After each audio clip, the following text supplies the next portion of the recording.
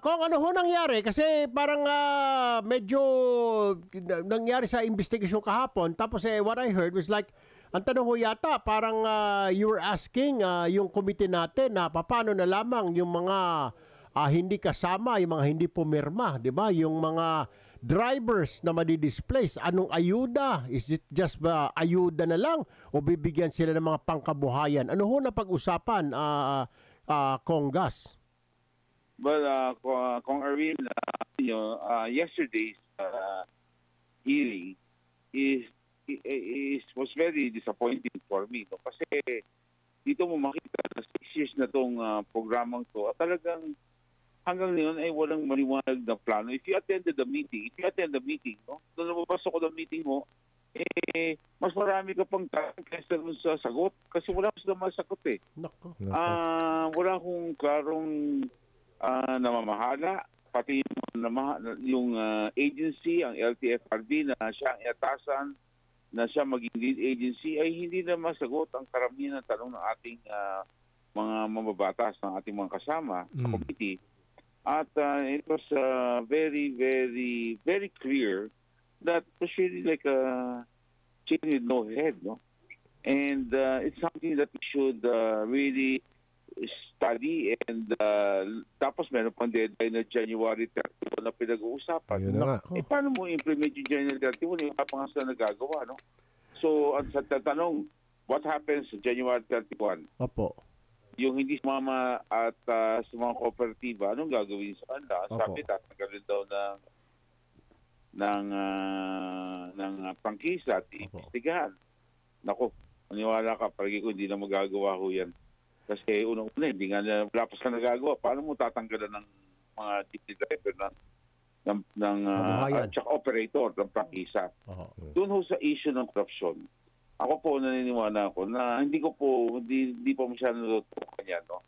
Pero talaga ang key ho dito, para maging successful ang programa to, yung mga operator, dapat ho talaga magsama-sama, no? Oo. Kasi dapat ho, nobody naman in the hearing was against the, the modernization program. This is good for us, this is good Mm. for the planet, and this is so good for the quality of air.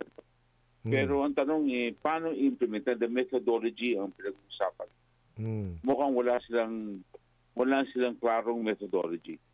Okay. Ano po recommendation ni dito, Kong? Mukhang may recommendation ho yata kayo na palawigin pa ng Pangulo or kanselahin na ano hong ah, ah, magiging rekomendasyon dito, ah, Congas? Well, wala, uh, wala pa kong uh, klarong okay, right now ang namin is we have to suspend the January 31 no because if they start uh, uh, selling the uh, oo. permits no Oo, those oo. kasama sa kooperatiba eh parang masyado namang mahirap yun tsaka very harsh considering na sa tingin ko ay pag, ang pagkukulang na sa gobyerno rin eh. Oh.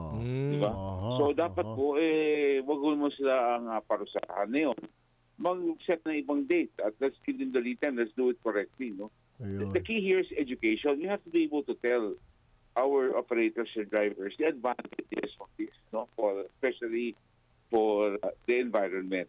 It's go- a good program, eh, pero ang isa pang pinag-iusapan dyan is anong klaseng jeep yung bibilin? Kasi Oh, una-una, eh, sandali, yung 2 milyon na bibig 2.8 na bibigyan Mahal ng yun. 10% ng payment 180 eh medyo tap yan kasi may mga local manufacturers Tama. naman na are willing to sell at 950 no Meron Eh, no. ano yun ha electric na at 950 Kita mo yan? hindi ko hindi pa electric yan pag Euro 4 So, ibig sabihin kong may kumikita rito. May Meron. gus- Diyos ko po naman. well ah, hindi ko nga hindi nga klaro kung anong naging basihan sino nag-accredit ng 2.8 na yan eh they you know the question the answers were not clear. They're all general statements which is not correct. No? they have to give the details and be uh, very clear. So posible no na baka diyan na inaanggulan na baka mga naman may baka allegedly may uh, kumikita. Pero we have to be very uh, they have we have to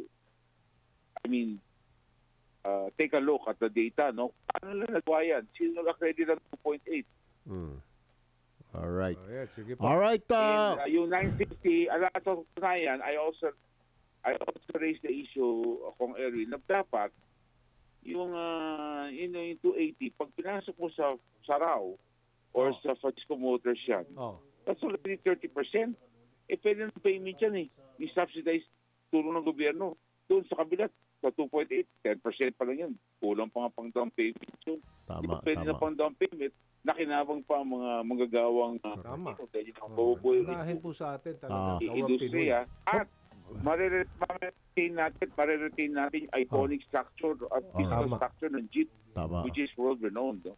Pero, So- pa- pwede ba yung kung uh, i-recommenda na lang na, natin, ninyo, na tangkilikin yung mga Saraw at Francisco, yung sariling atin, kaysa kung bumili sa mga Sa po. China, Japan, kung sa unahin na muna yung mga... I think it's go- I think it's going to go that way Ay, sige uh, po, because of the salamat. cost Ayun, opo, opo. already and uh, because of advantages of doing it uh, Yan, uh, Filipino, let's Opo. do it the Filipino way, Tama. tatak Pinoy, opo. eh talagang dapat, uh, yan ho talaga dapat ang punta niyan. I think Yun. it's gonna go that way. Na Ayun, talaga, alright.